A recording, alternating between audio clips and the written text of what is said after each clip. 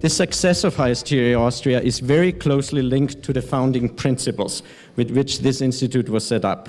And so I'm especially proud and thankful that today we are not op only opening this building, also the Vice Chancellor and Federal Minister of Science and the Governor of Law Austria, together with our Board of Trustees, will actually reconfirm the founding principles of IST Austria by signing a joint declaration.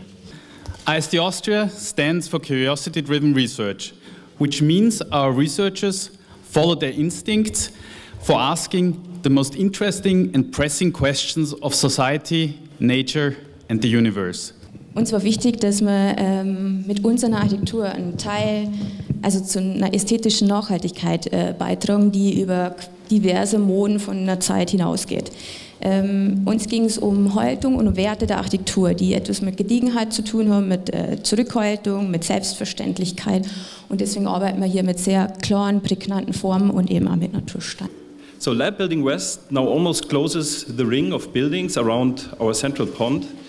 And for ISD Austria, Lab Building West is not just a further building, it's also really a widening, widening of our perspective. Or better, it's actually a deepening our, of our perspective, because for the first time, Researchers in the field of nanoscience will now work at IST Austria. So solid state physicists and material researchers will be able to carry out research at the very smallest um, size scale.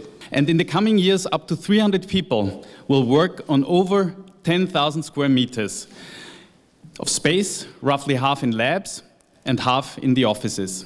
Wir sind ein Land, das nicht reich ist an Bodenschätzen, allerdings reich an geistiger Kapazität. Natürlich auch für die Wirtschaft wichtig, äh, für die Forschung generell wichtig, dass wir hier ein äh, Exzellenzforschungsinstitut haben, eine Einrichtung haben, äh, die wirklich natürlich dann auch, was den Transfer in die Praxis anbelangt, zur Verfügung steht und auch entsprechend wirkt. Die Instrumentarien äh, Bildung, Wissenschaft und Forschung sind nun einmal die wesentlichen auf diesem Weg in die Zukunft. You know, we had three highlights today.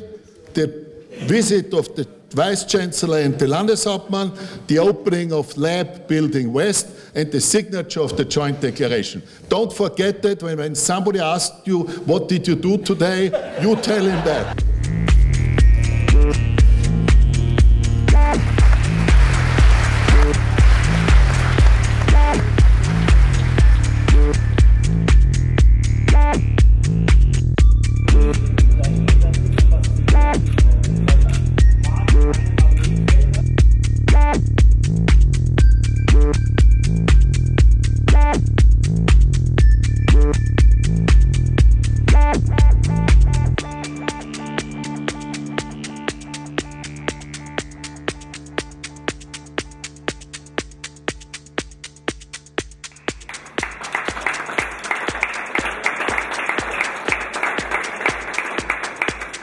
みんなで。